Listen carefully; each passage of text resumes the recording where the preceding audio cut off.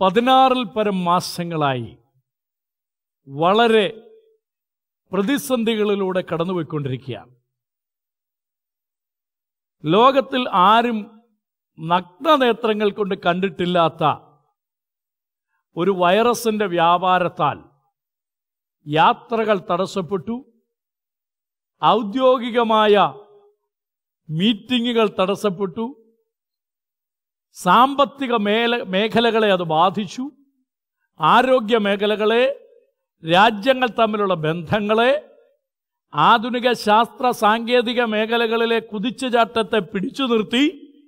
അങ്ങനെ ഒരു വലിയ വിപത്ത് ഒരു മഹാമാരി ലോകം മുഴുവൻ നേരിട്ടുകൊണ്ടിരിക്കുക ഇതിന്റെ നടുവിൽ പവർ വിഷൻ ടി വിയിലൂടെ ശക്തമായ ദൈവിക ദൂതുകൾ ആലോചനകൾ ലോകത്തെ മുഴുവൻ ലോകത്തിൽ പല ഭാഗങ്ങളിലായിരിക്കുന്ന പ്രിയപ്പെട്ടവരെ മുഴുവൻ വിളിച്ചറിയിച്ചു കൊണ്ടിരിക്കുകയാണ് പവർ വിഷൻ ടി വിയുടെ അണിയറയിൽ പ്രവർത്തിക്കുന്ന അനേക ദൈവഭക്തന്മാർ അവരുണ്ട് അവരാണ് ഇതിന്റെ പിന്നിൽ പ്രവർത്തിക്കുന്നത്.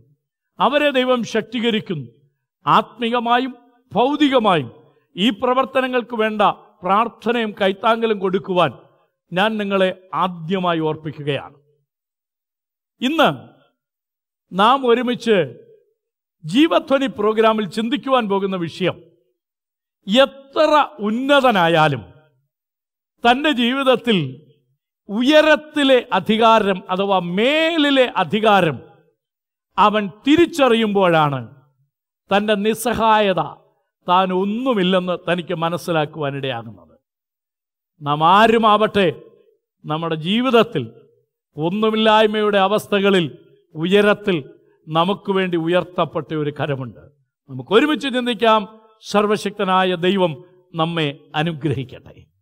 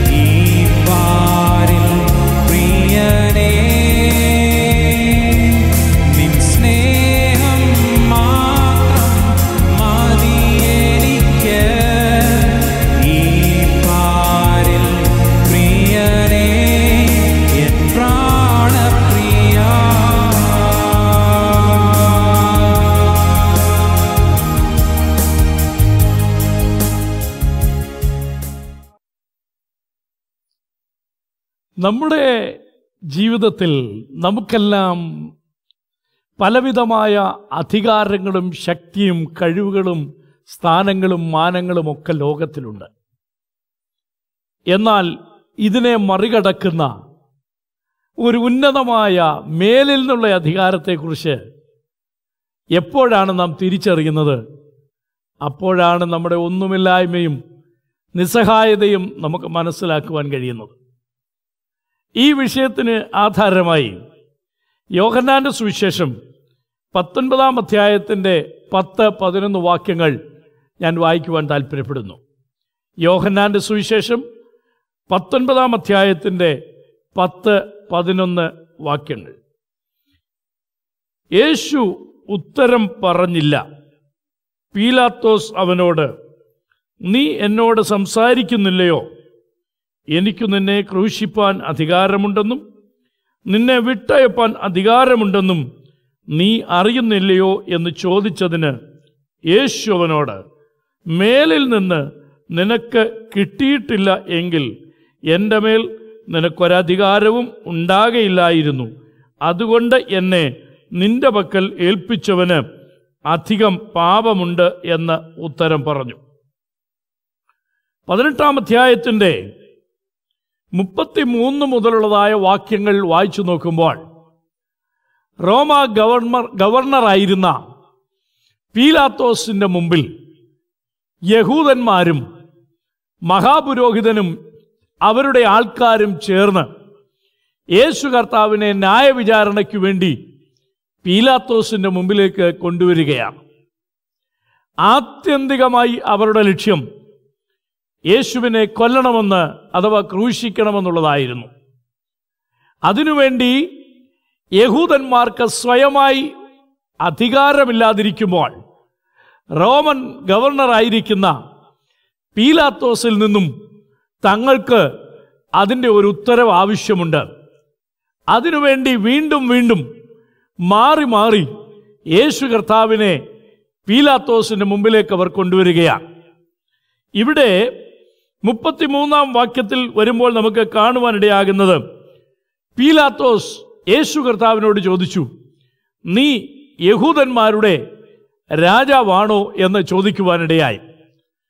യേശു കർത്താവ് അതിന് മറുപടി കൊടുത്ത കൂട്ടത്തിൽ മുപ്പത്തി ആറാം വാക്യത്തിൽ വളരെ വ്യക്തമായി കർത്താവ് പറഞ്ഞു എന്റെ രാജ്യം ഐഹികമല്ല എന്ന് ഉത്തരം പറഞ്ഞു. വളരെ വ്യക്തമായി പീലാത്തോസിനോട് യേശു കർത്താവ് പറഞ്ഞു എന്റെ രാജ്യം ഐഹികമല്ല. ഞാൻ വന്നിരിക്കുന്നത് എന്താണെന്ന് യേശു കർത്താവ് മുപ്പത്തിയേഴാം വാക്യത്തിൽ പറഞ്ഞു നീ പറഞ്ഞതുപോലെ തന്നെ ഞാൻ രാജാവ് തന്നെ സത്യത്തിന് സാക്ഷി നിൽക്കേണ്ടതിന് ഞാൻ ജനിച്ച് അതിനായി ലോകത്തിൽ വന്നുമിരിക്കുന്നു. സത്യതൽപരനായവൻ എല്ലാം എന്റെ വാക്ക് കേൾക്കുന്നു എന്ന് ഉത്തരം പറഞ്ഞു. അവിടെ യേശു കർത്താവ് വളരെ വ്യക്തമാക്കുകയാണ് എന്റെ രാജ്യം ഐഹികമല്ല സത്യദൈവത്തിന്റെ സാക്ഷിയായിട്ടാണ് ഞാൻ ഈ ലോകത്തിലേക്ക് വന്നിരിക്കുന്നത് എന്ന് കർത്താവ് പറയുവാനിടയായി. അപ്പോൾ പീലാത്തോസ് ഒരു ഗവർണറായിരിക്കുന്ന റോമൻ ഗവർണറായിരിക്കുന്ന പീലാത്തോസിന് ഒരു കാര്യം മനസ്സിലായി. യഹൂദന്മാർ ആക്ഷേപിക്കുന്ന തലത്തിൽ യഹൂദന്മാർ കുറ്റം ആരോപിക്കുന്ന തരത്തിൽ യേശു കർത്താവ് ഭരണകൂടത്തെ മറിക്കുവാനോ ലോകത്തിൽ ഒരു ഐഹിക രാജ്യം സ്ഥാപിക്കുവാനോ അല്ല കടന്നു വന്നിരിക്കുന്നത്. മറിച്ച് താൻ നിത്യദൈവത്തിന്റെ സത്യസാക്ഷിയായി ഏകപുത്രനായി ലോകത്തിൽ വന്നതാണെന്ന് പീലാത്തോസിന് യേശു കർത്താവിന്റെ വാക്കുകളിലൂടെ ആ സത്യം മനസ്സിലാക്കി. കർത്താവ് പറഞ്ഞു സത്യതൽപരനായവൻ അഥവാ സത്യത്തെ ആഗ്രഹിക്കുന്നവൻ അവൻ എന്റെ വാക്ക് കേൾക്കുന്നു എന്ന് ഉത്തരം പറയുവാനിടയായി. അപ്പോൾ വളരെ വ്യക്തമായി യേശു കർത്താവ് ആരാണെന്ന് ദൈവപുത്രനാണെന്നുള്ള കാര്യം വളരെ വ്യക്തമായി പീലാത്തോസിന് വിശദീകരിച്ചു കൊടുത്തിട്ടും മുപ്പത്തിയാറാം വാക്യത്തിൽ പീലാത്തോസ് വീണ്ടും കർത്താവിനോട് ചോദിക്കുകയാണ് സത്യമെന്നാൽ എന്താണ് സത്യമെന്നാൽ എന്ത് എന്ന് വീണ്ടും ചോദിക്കുന്നതായി നമുക്കവിടെ കാണുവാനിടയാകുന്നു.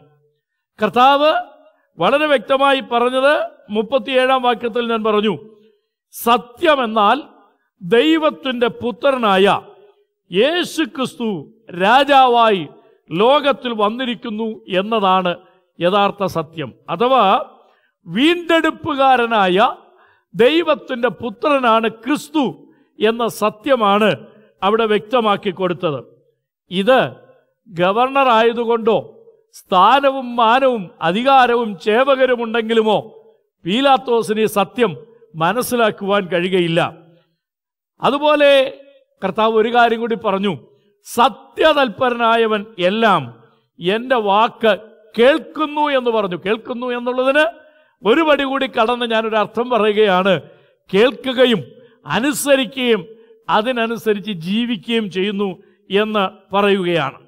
ഇവിടെ ഈ പീലാത്തോസ് യേശു കർത്താവിനെ തിരിച്ചറിഞ്ഞു. അതൊരു യഥാർത്ഥ സത്യം എന്താണെന്ന് തിരിച്ചറിഞ്ഞെങ്കിലും താനായിരിക്കുന്ന സ്ഥാനം താനായിരിക്കുന്ന ജനവിഭാഗത്തിന്റെ അകത്തു നിന്ന് താൻ അനുഭവിച്ചു കൊണ്ടിരിക്കുന്ന സമ്മർദ്ദത്തിന്റെ മുമ്പിൽ ഈ അറിഞ്ഞ സത്യത്തെ തൻ മറച്ചു വയ്ക്കുവാനിടയായി.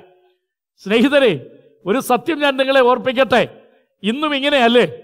ഈ സത്യം പലരും തിരിച്ചറിഞ്ഞിട്ടും തങ്ങളുടെ കുടുംബ ബന്ധങ്ങൾ തങ്ങളായിരിക്കുന്ന ജോലി സ്ഥലങ്ങൾ തങ്ങളുടെ സാമൂഹിക ബന്ധങ്ങൾ തങ്ങളുടേതായ ഔദ്യോഗിക പദവികൾ പലതും തങ്ങൾ അറിഞ്ഞ ഈ യഥാർത്ഥ സത്യത്തെ പുറത്തു പറയുവാൻ പലരെയും ഇന്നും തടഞ്ഞുകൊണ്ടിരിക്കുന്നതായി നമുക്ക് കാണുവാനിടയാകും.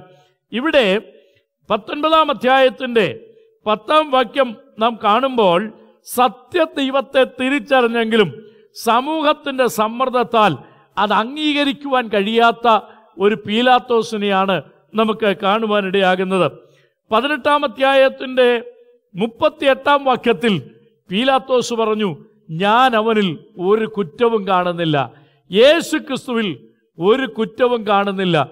പീലാത്തോസെ ഒരു സത്യം നീ തിരിച്ചറിഞ്ഞിട്ടും ഒരു കുറ്റവും കാണുന്നില്ലെന്ന് പറഞ്ഞിട്ടും വീണ്ടും നീ എന്തിനാണ് യേശു ക്രിസ്തുവിനെ വിധിക്കുവാൻ വേണ്ടി നിൽക്കുന്നത്?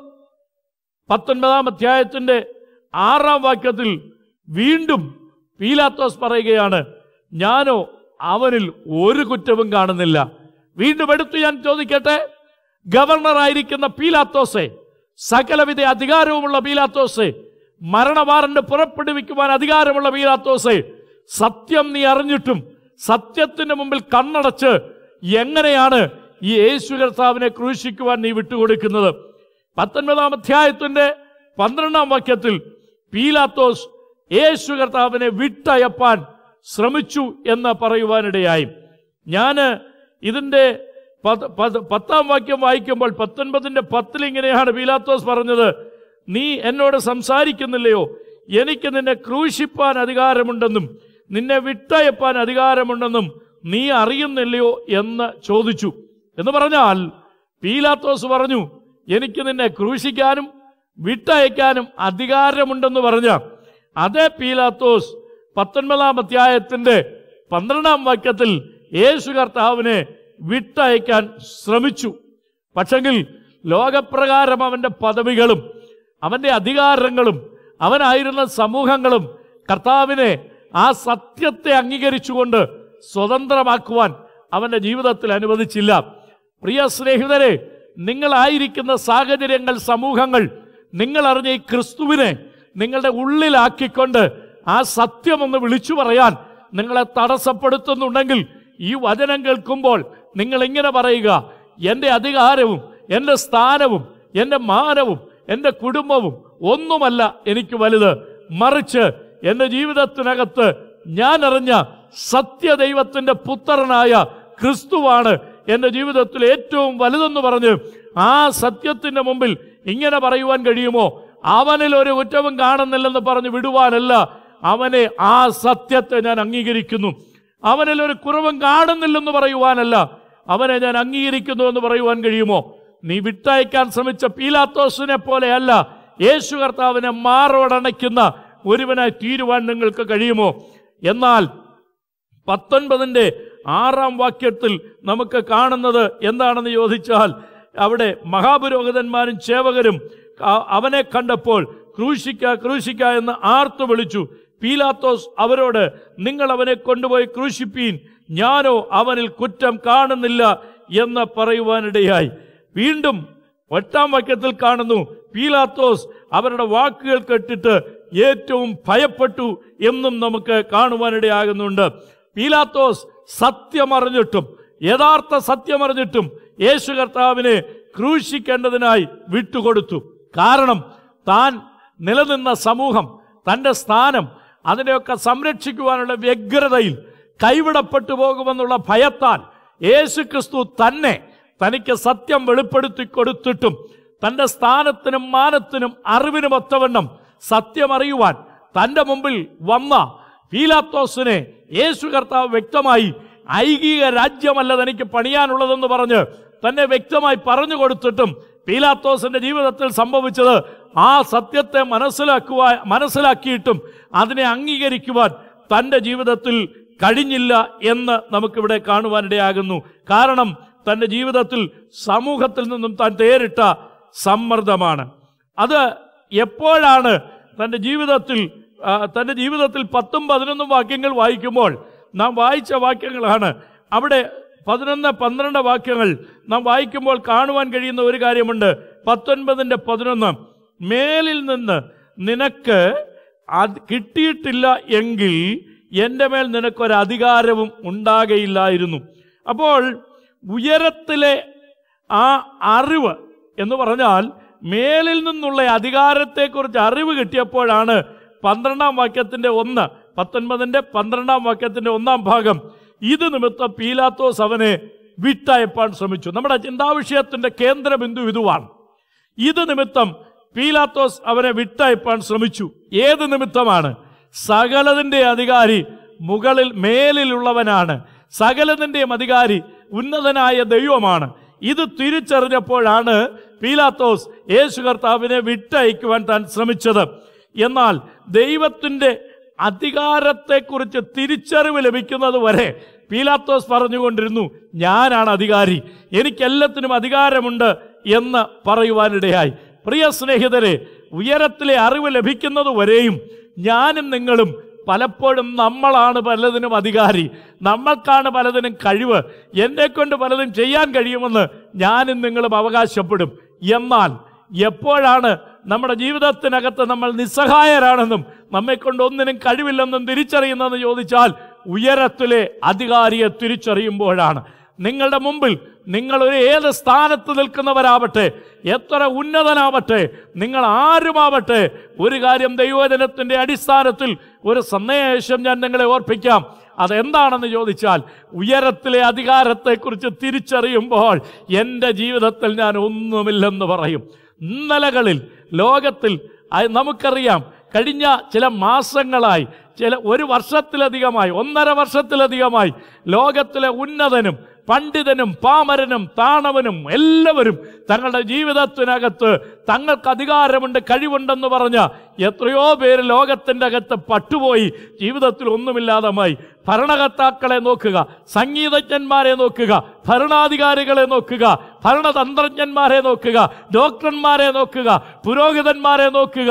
ഇങ്ങനെ അധികാരമുണ്ടെന്ന് പറഞ്ഞ പലരും ലോകത്തിൽ ഒന്നുമല്ലെന്ന് തിരിച്ചറിയുന്ന ഒരു കാലഘട്ടമായിരുന്നെങ്കിൽ അടുത്ത കാലഘട്ടം ഏതെന്ന് എനിക്കും നിങ്ങൾക്കും തിരിച്ചറിയാതിരിക്കുമ്പോൾ പീലാത്തോസിനെ പോലെ സത്യം തിരിച്ചറിഞ്ഞിട്ട് യഥാർത്ഥ സത്യം തിരിച്ചറിഞ്ഞിട്ട് സമൂഹത്തിന്റെ സമ്മർദ്ദത്താൽ ഏതെങ്കിലും വിധത്തിൽ ഒളിച്ചിരിക്കുന്ന ആരെങ്കിലും ഉണ്ടെങ്കിൽ നിങ്ങളോട് ഞാൻ ഒന്ന് പറയട്ടെ.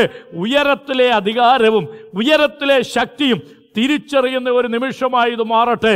ഉയരത്തിലെ അധികാരവും ഉയരത്തിലെ ശക്തിയും നിങ്ങളുടെ ജീവിതത്തിനകത്ത് നിങ്ങൾ തിരിച്ചറിയുമ്പോൾ സംഭവിക്കുന്നത് എന്താണെന്ന് ചോദിച്ചാൽ ക്രൂശിക്കാൻ നിന്ന പീലാത്തോസ് യേശുവിനെ വിടുവിക്കുവാൻ ശ്രമിച്ചതുപോലെ ജീവിതത്തിനകത്ത് ക്രിസ്തുവിനെ എന്നേക്കുമായി തള്ളിക്കളയുവാൻ ആഗ്രഹിച്ച നിങ്ങളുടെ ജീവിതത്തിൽ ക്രിസ്തുവിനെ നിങ്ങൾ മാറോടണയ്ക്കുവാനിടയാകും. എനിക്കൊരധികാരവുമില്ല എനിക്കൊരു കഴിവുമില്ല എന്ന് എപ്പോഴാണ് തിരിച്ചറിയുന്നത്? അപ്പോഴാണ് ദൈവത്തിന്റെ അധികാരം നമുക്ക് പ്രാപിപ്പാനിടയാകുന്നത്.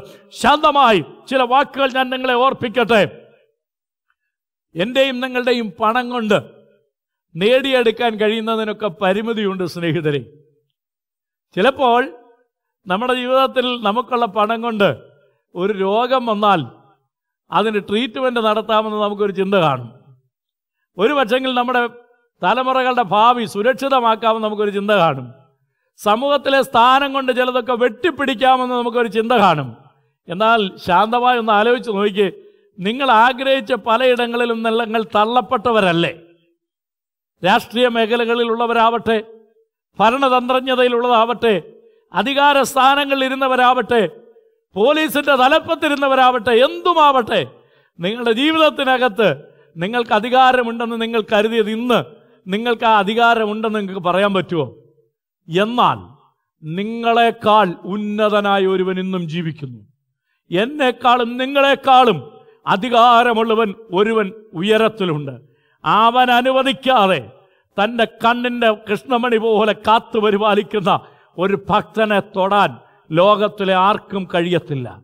പ്രിയ സഹോദര സഹോദരി പ്രിയ പ്രേക്ഷകരെ നിങ്ങളോടൊരു സത്യം ഞാൻ വിളിച്ചു പറയാം. ലോകത്തിലെ ആരെല്ലാം നിങ്ങളെ ഭയപ്പെടുത്താൻ വന്നാലും ജീവനോടെ വെച്ചേക്കത്തില്ലെന്ന് പറഞ്ഞാലും നിങ്ങളുടെ ജീവിതം അവസാനിപ്പിക്കുമെന്ന് പറഞ്ഞാലും നിങ്ങൾ ഇന്ന് ദൈവത്തോട് പ്രാർത്ഥിച്ചുകൊണ്ട് ഒരു ഉറപ്പ് നിങ്ങളുടെ ജീവിതത്തിൽ പ്രാപിക്കുക. ആരെന്തെല്ലാം പറഞ്ഞാലും ഈ കർത്താവ് ഒരു സത്യമാണ് ഒരു യഥാർത്ഥ സത്യമാണെന്ന് തിരിച്ചറിയുന്ന നിങ്ങൾക്ക് ദൈവിക സന്നിധിയിൽ ഇങ്ങനെ പറയുവാനിടയാകും. ഉയരത്തിലെ ദൈവം കൽപ്പിച്ചല്ലാതെ എന്നെ ആർക്കും ഒരു ശത്രുവിനും ഒരു രോഗത്തിനും തൊടുവാൻ കഴിയുകയില്ല. നിങ്ങൾ ഒരു പക്ഷെങ്കിൽ ഒരു ക്യാൻസർ രോഗിയാവാം. എന്നെ കൊണ്ട് നിങ്ങളെ തൊട്ട് സൗഖ്യമാക്കുവാൻ കഴിയുകയില്ല. എന്നാൽ ഉയരത്തിലെ ദൈവത്തിന് നിങ്ങളെ തൊട്ട് സൗഖ്യമാക്കുവാൻ കഴിയും. മരണത്തെ മുഖാമുഖമായി കണ്ടുകൊണ്ട് ഒരു കിടപ്പിലായിരിക്കുന്ന വ്യക്തിയാവാം. എന്നാൽ ഉയരത്തിലെ ദൈവം അനുവദിക്കാതെ ഏത് ഡോക്ടർ പറഞ്ഞാലും ഏത് വ്യക്തി പറഞ്ഞാലും ആരെല്ലാം പറഞ്ഞാലും ഉയരത്തിലെ ദൈവം അനുവദിക്കാതെ നിന്റെ ജീവിതത്തിനകത്ത് നിനക്കൊരു മരണം സംഭവിക്കുകയില്ല. നിന്റെ തലമുറ ശവിക്കപ്പെടുകയില്ല. നിന്റെ കുടുംബമില്ലായ്മ വരികയില്ല. ഒറ്റ കാര്യം ഓർക്കുക ഉയരത്തിലെ ദൈവം അനുവദിക്കാതെ നിന്റെ ജീവിതത്തിൽ ഒന്നും സംഭവിക്കുകയില്ല. ഇന്ന് എന്നെ കേട്ടുകൊണ്ടിരിക്കുന്ന നിങ്ങളോട് ഈ സന്ദേശം ഞാൻ കൈമാറുകയാണ്. എത്ര പേർക്ക് ഇത് വിശ്വസിച്ച് എന്നോട് ചേർന്ന് പ്രാർത്ഥനയ്ക്ക് അടുത്തു വരുവാൻ കഴിയും? ഉയരത്തിലെ ദൈവം അനുവദിക്കാതെ എന്നെ ആർക്കും തൊടുവാൻ കഴിയുകയില്ല. എന്നെയോ എന്റെ തലമുറയോ നശിപ്പിക്കുവാൻ കഴിയുകയില്ല. വിശ്വസിക്കുന്ന ദൈവമക്കളോട് ഒന്ന് പറയട്ടെ. മേലിലെ അധികാരം തിരിച്ചറിയുമ്പോൾ ഈ ലോകത്തിൽ നാം ഒന്നുമില്ലെന്ന് തിരിച്ചറിയുമ്പോൾ നമുക്കൊരു കാര്യം എത്ര ഉന്നതരാണെങ്കിലും നമ്മൾ നിസ്സഹായരാണെന്ന് പറയും. അങ്ങനെയുള്ളവനെയാണ് ദൈവം സഹായിക്കാൻ വരുന്നത്. കണ്ണുകളെ അടയ്ക്കാം. ഞാനൊരു നിസ്സഹായകനാണ്. എനിക്ക് സ്ഥാനവും മാനവും അധികാരവും പണവുമുണ്ട് എന്നാൽ ശക്തിയുണ്ട്. ഞാൻ നിസ്സഹായനാണെന്ന് പറയുന്ന ഒരാളാണ് നിങ്ങളെങ്കിൽ യഹോവയായ ദൈവം പറയുന്നു എനിക്ക് നിന്നേക്കാൾ അധികാരമുള്ളവനാൽ നിന്നെ ഞാൻ സഹായിപ്പാൻ തയ്യാറാണ് കണ്ണുകളെ അടയ്ക്കുക. പ്രാർത്ഥിക്കാം. സ്നേഹവാനായ ദൈവമേ ഞങ്ങളുടെ സ്വർഗസ്ഥ പിതാവേ ജീവിതത്തിൽ തന്ന സ്ഥാനങ്ങൾ മാനങ്ങൾ അധികാരങ്ങൾ എല്ലാത്തിനുമായി അങ്ങക്ക് സ്തോത്രം ചെയ്യുന്നു. ഞങ്ങൾക്ക് തന്ന എല്ലാത്തിനേക്കാളും ഉപരിയായി അധികാരമുള്ള ഒരുവൻ ഉയരത്തിലുള്ളതിനാൽ ഞങ്ങൾ അങ്ങേ നന്ദിയോടെ സ്തുതിക്കുന്നു. ഇന്ന് ഞാൻ പ്രാർത്ഥിച്ചുകൊണ്ടിരിക്കുമ്പോൾ മരണഭയത്താൽ രോഗത്തിന്റെ നടുവിലായിരിക്കുന്നവർ കുടുംബ തകർച്ചയുടെ നടുവിൽ ഭിന്നത വന്ന അനുഭവങ്ങളുടെ നടുവിൽ എല്ലാം തീർന്നുവെന്ന് കരുതുന്നവരുടെ ഇടയിൽ സാമ്പത്തിക തകർച്ചകൾ നേരിട്ടിരിക്കുന്നവരുടെ നടുവിൽ കുടുംബജീവിതം തകർന്നതിന്റെ നടുവിൽ ഫാക്ടറി നഷ്ടപ്പെട്ടതിന്റെ നടുവിൽ ബിസിനസ് തകർന്നതിന്റെ നടുവിൽ ഈ വചനം വിശ്വസിക്കുന്നവർ ഇന്ന് കർത്താവെ വിടുവിക്കപ്പെടുവാൻ ഞാൻ പ്രാർത്ഥിക്കുന്നു. സകലതിനേക്കാളും വലിയ ഒരധികാരം മേലിലുണ്ടെന്ന് ഞങ്ങൾ തിരിച്ചറിയുന്നു. ആ അധികാരം ഞങ്ങൾക്കായി വെളിപ്പെടുന്നതിനായി നന്ദി. യേശു ക്രിസ്തുവിൻ നാമത്തിൽ തന്നെ. അമേൻ അടുത്ത ആഴ്ചയിൽ വീണ്ടും പവർ വിഷൻ ടി വിയുടെ ജീവധാനി പ്രോഗ്രാമിൽ ഇതേ സമയത്ത് നാം ഒരുമിച്ച് കണ്ടുമുട്ടുന്നവരെയും സർവശക്തനായ ദൈവം എല്ലാവരെയും കാക്കട്ടെ പരിപാലിക്കട്ടെ അനുഗ്രഹിക്കട്ടെ.